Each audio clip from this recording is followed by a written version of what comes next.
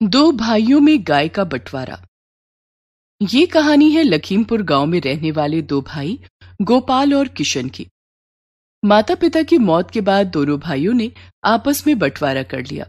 घर के दो टुकड़े हो गए, लेकिन उनके पास एक गाय थी। अब दोनों भाइयों ने एक गाय का बंटवारा किस तरह से किया और बंटवारे के बाद क्या हुआ? चलिए देखते हैं।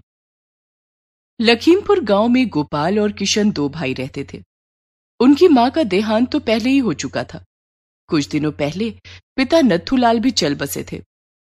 गोपाल और किशन दोनों भाइयों की शादी हो चुकी थी, लेकिन दोनों की बीवियों की आपस में नहीं बनती थी। गोपाल की पत्नी चंदा और किशन की पत्नी चमेली में अक्सर लड़ाइयाँ होती रहती थीं। चंदा बड़ी थी इसलिए वो चमेली को अपने जेठानी होने का रौब दिखाती थी और उसी से घर के सारे काम करवाती थी। दोनों भाइयों के पास एक गाय थी जिसका नाम जमुना था। चमेली, अभी तक खाना नहीं बनाया तूने, और ये जमुना क्यों चिल्ला रही है? देख, गोबर तो नहीं कर दिया उसने।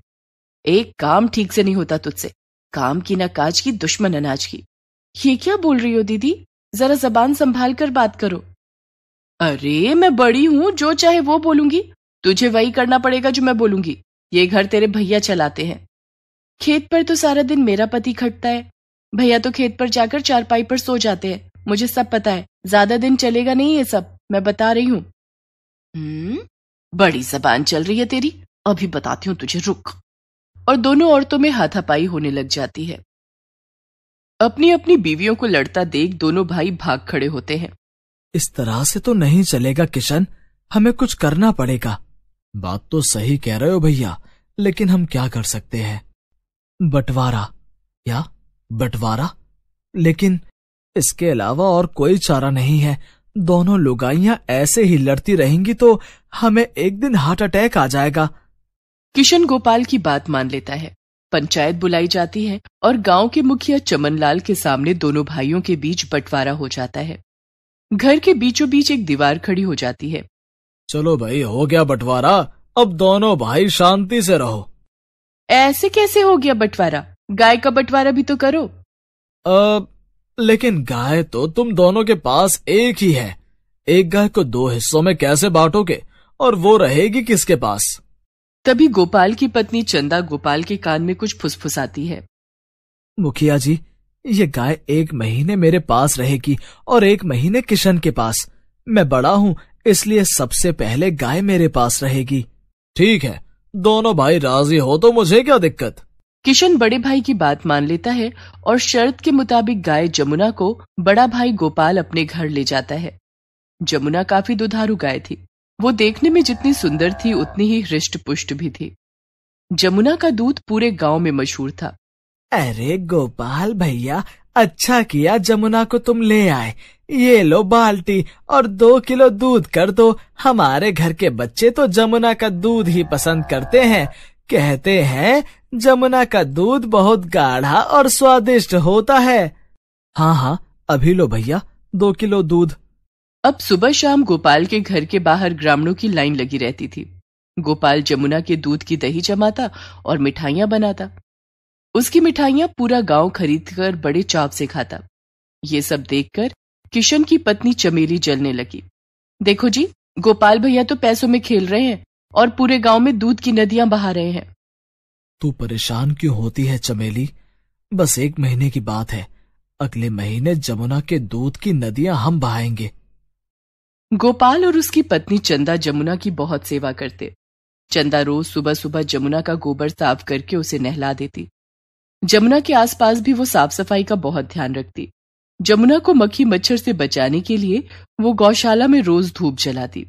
गोपाल जमुना को बड़े प्यार से चारा खिलाता। खा। भरपेट चारा खा।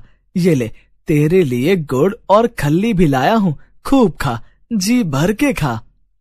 दोनों पति पत्नी का प्यार देखकर जमुना भी उनसे बहुत खुश थी। इसी तरह एक एक करके दिन बीत गए और एक महीना बीत गया। अगले महीने की एक तारीख को किशन अपने बड़े भाई गोपाल के घर आया। भाई किशन कैसे हो? मैं तो ठीक हूँ भैया। आप कैसे हैं? तभी पीछे से किशन की पत्नी चमेली वहाँ आ जाती है और किशन से कहती है सीधे सीधे काम की बात क्यों नहीं करते कि जमुना को लेने आए हो? चमेली ये बात इतनी ज़ोर से बोलती है कि गोपाल सुन लेता है। हाँ हाँ भाई किशन जमुना को ले जाओ। अब एक महीने के लिए जमुना तुम्हारे पास रहेगी। गोपाल के इतना कहते ही चमेली झटपट यमुना को खूंटे से अलग कर देती है और अपने घर ले जाती है। किशन के घर में जमुना के लिए कोई गौशाला नहीं था। इसलिए चमेली घर के दरवाजे पर ही खूंटा गाड़ कर यमुना को वहाँ बाँध देती है। सुबह से शाम हो जाती है लेकिन यमुना को कुछ भी खाने को नहीं मिला। रात में जमुना भूख से तड़प कर आवाज़ें लगा रही थी तब किशन उसे चारा डालने के लिए जाता है। तभी चमेली वहाँ आ जाती है। ये क्या कर रहे हो? देख नहीं रही हो जमुना को भूख लगी है तुमने इसे चारा नहीं डाला। न मैं चारा डालूँगी और न तुम्हें चारा डालने दूँगी। लेकिन जमुना से तेरी क्या दुश्मनी है? दुश्मनी जमुना से नहीं तुम्हारे भाई और भाभी से है। पूरे महीने तो उन लोगों ने जमुना के दूध के बहुत मज़े उड़ाए हैं। दूध दही और मिठाइयाँ बेचकर खूब पैसा कमाया है। लेकिन अब मैं ऐसा नहीं होने दूँगी। जमुना की हालत तो मैं ऐसी कर दूँगी कि ये किसी काम की नहीं रहेगी। तुम इंसानों का गुस्सा इस बेजुबान जानवर पर निकालोगी। तो क्या करूँ? तुम्हारे भाई और भाभी से जाकर लड़ूं? नहीं नहीं तुम भैया और भाभी से कुछ मत कहना। दो भाइयों के झगड़े में बेचारी जमुना पिसने लगी। चमेली ना तो जमुना को चारा डालती और ना ही उसका गोबर साफ़ करती और ना ही उसकी साफ़ सफ़ाई का ध्यान ही रखती। बेचारी जमुना के आसपास गंदगी फैल गई। मच्छर और मक्खियाँ उसका जीना हराम करने लगे। भूख प्यास से परेशान यमुना दिन भर चिल्लाती रहती। ग्रामीणों को दया आ जाती तो कभी कोई दो रोटी डाल जाता, जिसे खाकर जमुना थोड़ी देर के लिए शांत हो जाती। लेकिन अगले ही पल फिर भूख से बिलबिला उठती। जमुना की यह हालत गोपाल और चंदा से देखी नहीं जा रही थी। सुनिए जी आप देख रहे हैं ना किशन और चमेली ने जमुना की क्या हालत करती है? मुझसे जमुना की यह हालत देखी नहीं जाती। उनसे कहो कि अगर जमुना संभाली नहीं जाती तो हमें दे दे। ये कैसी बात कर रही हो चंदा? शर्त के मुताबिक जमुना इस महीने किशन के पास ही रहेगी। जमुना को अब हम अगले महीने ही अपने घर ला सकते हैं। गोपाल की बात सुनकर चंदा चुप हो गई। लेकिन उससे जमुना का दुख देखा नहीं जा रहा था। रात होते ही जब सब सोने चले जाते तो वो चुपके से जमुना को खाना खिलाती। इस तरह से बेचारी जमुना एक वक्त का ही खाना खा पाती, जिससे वो बहुत कमज़ोर हो गई थी। धीरे धीरे करके जमुना के कष्ट भरे दिन बीत गए और एक महीना पूरा हो गया। अगले महीने की एक तारीख को गोपाल जमुना को लेने के लिए किशन के घर पर आया। हाँ हाँ भैया। अब आप जमुना को अपने घर ले जा सकते हैं। जमुना बहुत कमज़ोर हो चुकी थी। वो किसी तरह से चल पा रही थी। गोपाल जमुना को अपने घर ले आया। एक महीने में क्या से क्या बना दिया हमारी जमुना को?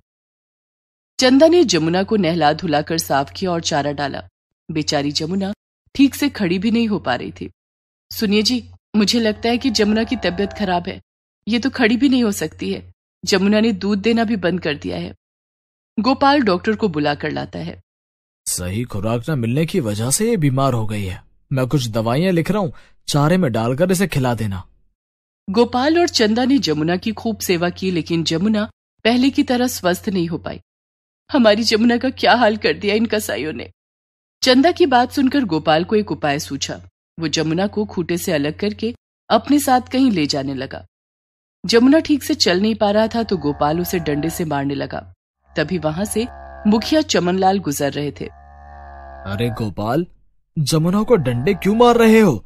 ये तो पहले ही अधमरी हो गई है।